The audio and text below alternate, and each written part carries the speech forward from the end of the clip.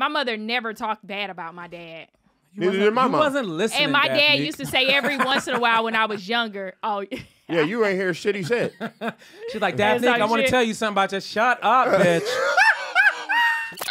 are the coolest motherfuckers on the planet. My vibe, the sky is falling, ain't no need to panic. There's a term called kitchen bitch shit that we grew Kitchen up with in bitch shit. Philly. This is when on the weekends, Friday, you get off work, you the women, if they didn't have any money, they pony up, get a few bottles of wine, and they sit in the kitchen and talk shit about whatever's going on in their life while the kids just kind of run around Hmm. and play. But as you come in the kitchen to get something to drink and all that, you hearing all of that shit. You know what I mean? Everything that they talk. Look at this nigga. Look just like his father in here. Hurry up get something to drink. Get the fuck Kitchen bitch shit. Right, like they just sit there and get drunk and just work themselves up. So Hmm. you know everything that your parents thought about all of the men in the neighborhood That's because it was like who. crazy, So if you ever wonder it's why a lot of toxicity. Exactly. If you ever wonder why some men have a childlike mentality, it's because of that shit. The best thing you could have done if you were a kid growing up around that was stay a child.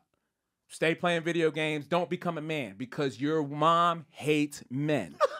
They all hate Oh, that's men. actually a pretty good analogy. Right. But I think a lot of times it is very hard for a child in that situation not to become a man because a lot of times the mothers are in non-sexual relationships with their uh, Sons. sons. So a Oh, non-sexual was. relationship where you're literally your mother's boyfriend. She put her emotional stress off on you, her financial stress, and a lot of things. Like you even mentioned the word cuddle. Come cuddle with me. Like it- that. That Yeah. Yeah. I used to get in that might trouble. be a little unhealthy. Yeah, I used to get, in, and my mom would make the effort to get her hair and nails done. I would get in trouble for not noticing, and I was like oh, seven, Oh, shit. eight years old. Yeah. You ain't gonna say oh, nothing about my hair, like bitch. I'm watching Tiny I'm Toons. watching What are you Tiny talking about? Toons. Dum, You- dum, dum, dum, dum, I didn't dum, even dum. notice. You know what I Tiny Toons mean? Like yeah, shit, too. or like, or like my mom might make the attempt to cook. You know, cook something, and like yeah.